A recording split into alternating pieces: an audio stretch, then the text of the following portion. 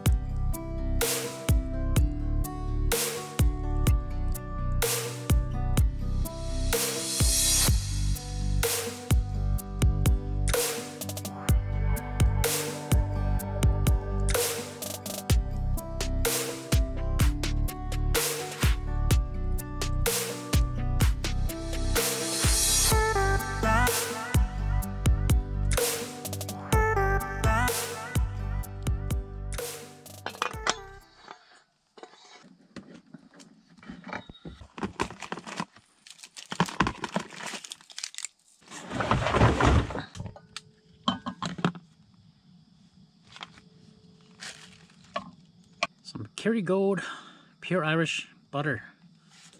That's what it looks like. It's actually really good butter. Gotta make some eggs out of it.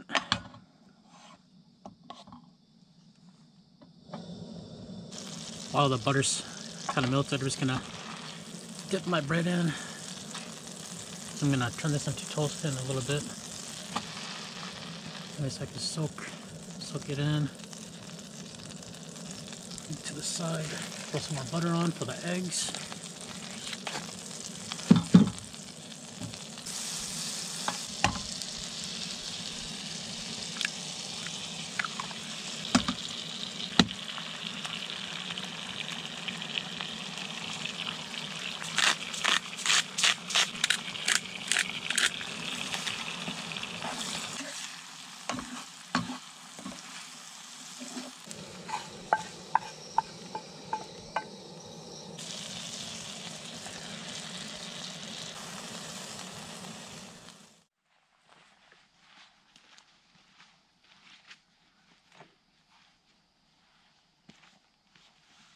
Oh yeah, breakfast. Eggs, a grilled ham and cheese for breakfast. Come and join me, guys. Right by, right by the fire. Mm. Food just tastes so much better when you're camping.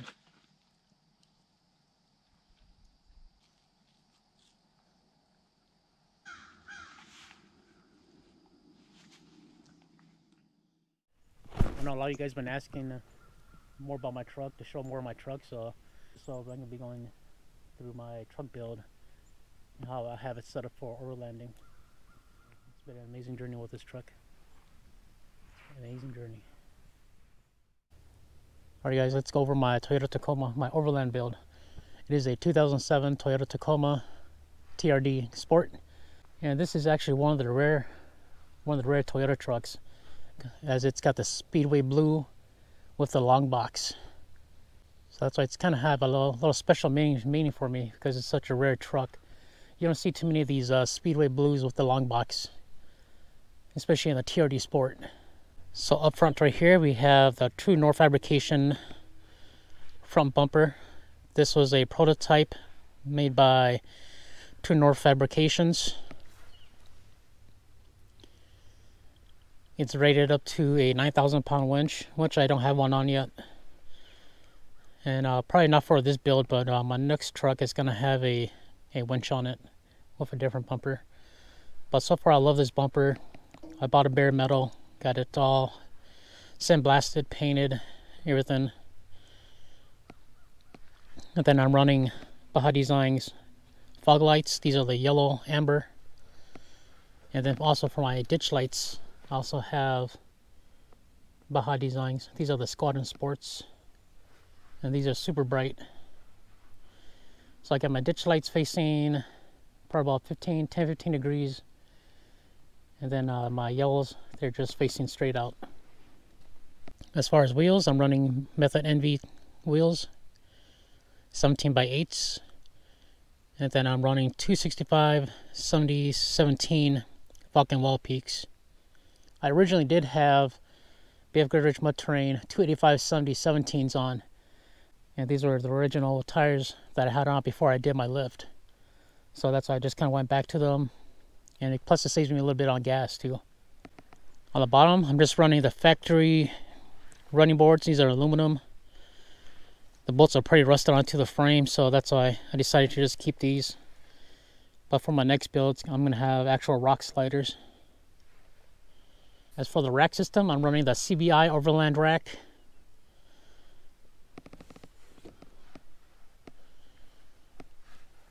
with the uh, with the CBI bike rack mount right here this is the universal mount and then I'm running a tray style bike mount this is made by Thule or Thule, Thule, something like that. This is how the bike locks in. Just click this, clip this in, turn the key so it's locked.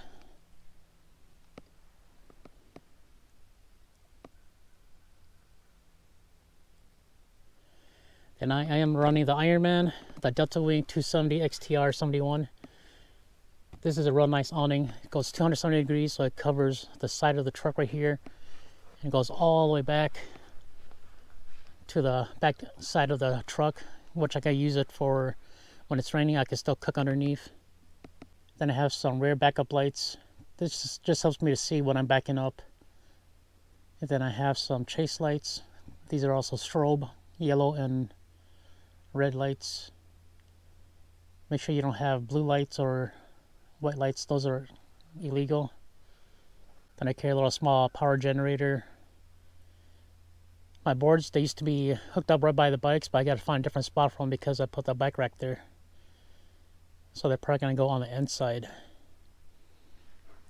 And we'll go through this in a little bit. This is my little kitchen area. This has got all my cooking utensils and stuff. These are just my waders. And then this rear bumper is a is the body armor. Is the body armor.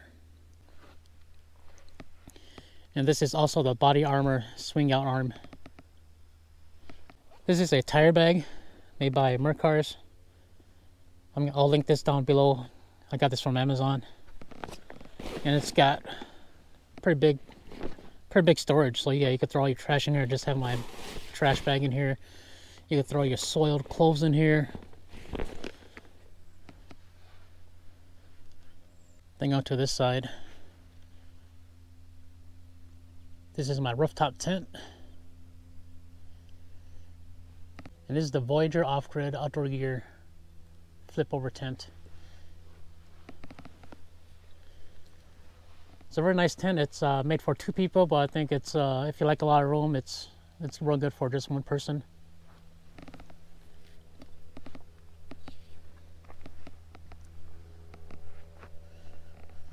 So basically, it just flips over just like this and then it just folds right back down and then you just throw the soft top on you just tie it on to your bumper And this one is just hanging loose. Because they're like, I'll have a spot to hang this or hook this up to. And then above has storage. This is uh, some of my recovery gear, my impact wrench, all the good stuff. And this is the Uptop Bravo B. Above cab rack. It's been a real nice rack too. I've had it on here for almost a year now and it's never it's never came loose. It's held all my gear really nice. On the other side, I just have some uh, rod rod holders, or you put skis or snowboards on top if you want to. So I do have tools. I carry tools with me. This is a RV jack. This is recommended by Mav, and uh, I actually got it from where Mav got his from too. And these are just uh, tent stakes for my my awning. And as you can see, it's pretty packed in here. I just got extra blankets. It was uh, pretty chilly last night, so I could have used the extra blankets, but I was kind of lazy to get down and get them. Then I got my toolkit, just my biking gear. This is my little fridge. Opens from the side. And then I have, I can store my eggs, my condiments, whatever in here. And this is all powered by a Jackery. Right, so this is the Jackery that's powering the, the refrigerator right now. And it's also hooked up to my car's DC outlet, so I per, up, so it charges when I'm driving. And right now it's at, right now it's at 80%, and I've had this running since 5.30 last night, since I parked here last night. And it is uh, just over 9 o'clock right now, so it's been running for just a little over about probably 14 hours 14 15 hours and it's only 80% and it also depends on how much uh, or how hot it is outside too. I think right now I have it set at about 37 degrees and it's only used 20% of the battery which is pretty nice but in the summertime when it's uh, really hot you can go through a lot of battery one one day like this you'll go through 50 60% of your battery it just depends on how hard your refrigerator is working. I just have my personal gear right here. So if I need a bail out, boom, right here it's all. I just grab it and go. And then I just put my rods right here. Extra, extra gear right here so it's not so cluttered. Then I do have a video on this, the Bird Dogs Tech Deck. I'll link it uh, above so you guys can see. And uh, so it's got the tech deck mount with some RAM mounts. And that's where I have my phone. And then above I just have all my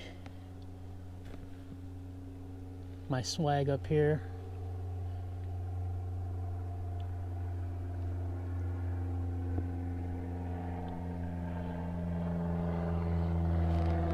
Right here's where I have my Midland CB radio. I just have it hooked up to the side of the truck right here with the power going to the DC outlet. So on the back here I have my battery jumper pack, an extra holes for when I have my LP gas tank. This is just my OBD2 reader in case I get a check engine light or whatever. I could just check it real quick, diagnose it real quick. And then my little small first aid kit, which I carry.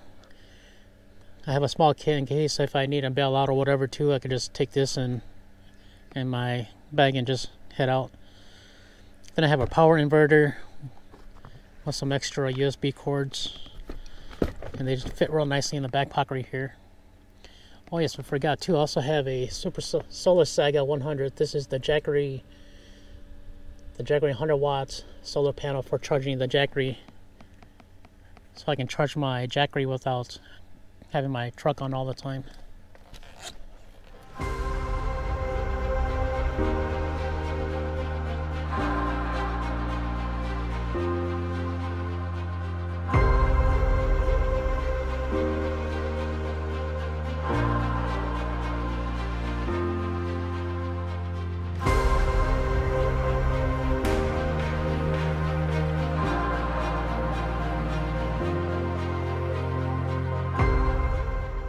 That's about it for my build.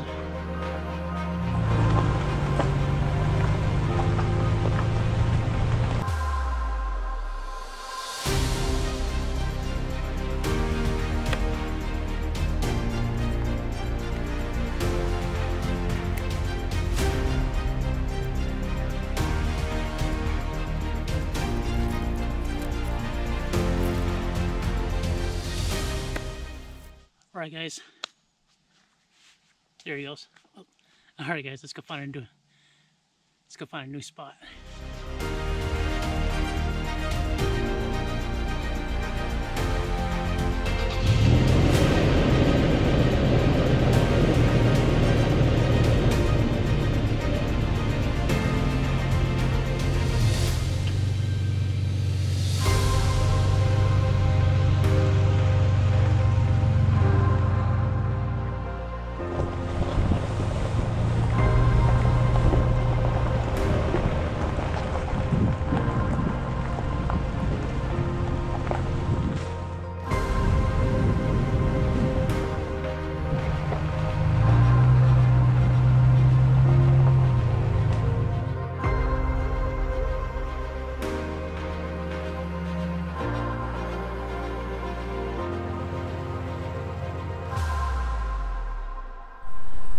Urban Adventures. Hopefully, you guys like this episode. We had a lot of fun uh, on the trails and everything.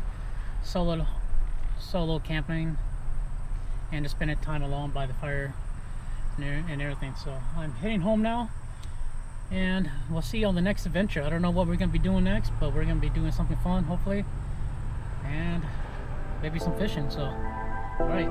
As always, follow your dreams, follow your passions, make it happen. Let's catch you on the next adventure. Thank you.